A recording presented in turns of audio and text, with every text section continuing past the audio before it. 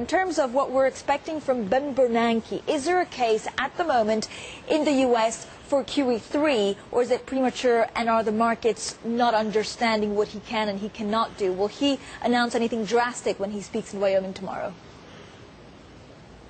Well, I don't know whether it has to be something like QE3, but there is a case for continued expansion in the money supply. It's better to keep the money supply expanding at a, a, steady rate. And uh, I think that uh, it's not necessary to announce in advance it's going to be a six-month or eight-month period.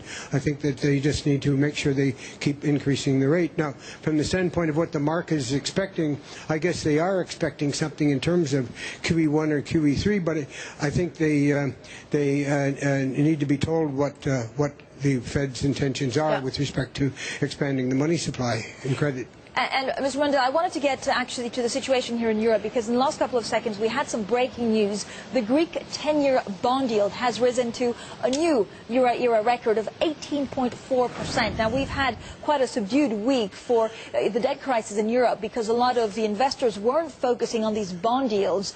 Are we going to see a lot of bond yields go higher because we're nowhere near the resolution of the debt crisis?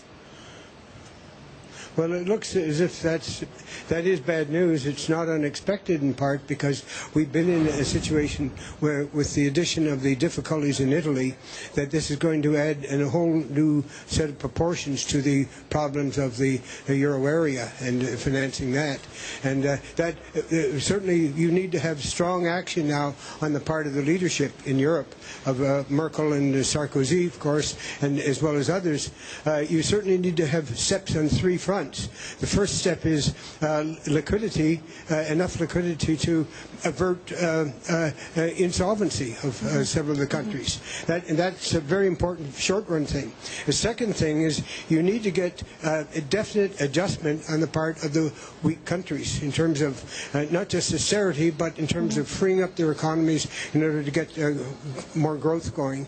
And you definitely have to show accountability, accountability for the, these countries for their difficulties. And once that, once the accountability has been demonstrated, when they make some measures, uh, cutting back measures that may include entitlements, then uh, then you can get, get some more support from Northern Europe. And, And uh, Mr. Mundell, of course, and these the three third, points. uh, the third Yeah, these three points are, are, are very clear, me and I think. The, yeah, go ahead. Yeah, I just want to say the third point was uh, a step toward governance, deepening the structure of, of European fiscal policy, of, of consolidating it. You need to have a Minister of Finance with a lot of power.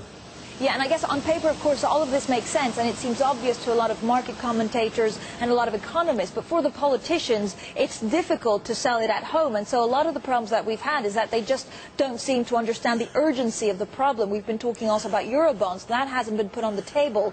Do bond yields need to reach a point where the European governments get very scared? Do we need to see a bond yield on Italian and Spanish at, at, at six, six and a half percent for them to click into action? Well, well, I think they, I think they should be scared now. I think that uh, uh, some of them are scared, they may not be indicating it. The public isn't completely aware of this yet, but uh, I, I hope it doesn't take uh, higher increased, uh, very greatly increased yields in order to make drive home that point. There has to be real solid adjustment, and that has to include some entitlement programs. It's no good just to say you're going to cut down on garbage collection or, or police protection or education or something like that. You have to do something with Yeah. respect to the uh, social welfare system.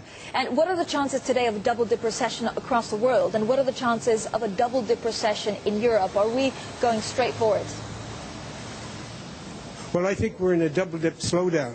But we're, we're, this, I think, is a slowdown. It's not necessarily a, a recession. I don't see that coming. But I do think their action in the United States has to come mainly on the fiscal side, not on the, not on the monetary side. What you need to do is to get a cut in the corporate tax rate down to 20%, for example, and you need to make the Bush tax cuts, which were extended for two years by President Obama, make those tax cuts permanent.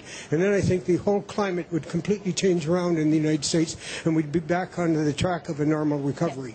And if we do see a double dip recession worldwide, who's going to be blamed? The Europe or the US? Um, well, I think both of them are going to be blamed. I think Europe for its own fiscal difficulties, and because they've now in Europe uh, lost the tool of fiscal policy to do much in the way of tax cuts to promote uh, recovery. They've lost that possibility because of the cl- system clogged full of debts. And in the U.S., because there's no real fundamental action on the fiscal side, the only thing the U.S. talks about is a big increase in spending again, which Yeah. has turned out to be part of the problem. And how concerned are you that it now seems that actually it's the central banks across the world, be it the ECB or the Fed, that need to step in to do the job that really the governments should be doing, which is spurring growth? Well, uh, it's uh, hard to get the government. There's no world authority, and uh, the International Monetary Fund isn't really uh, up to up to par yet because it's in the process of changing a transition period. Uh, so I think uh, you need to get. Uh, I think the leadership has to always come from the United States. Europe isn't in a position to assume leadership here. I think it has to be American leadership. All right, Robert Mundell, a real pleasure to have you on the show this morning. Thank you so much.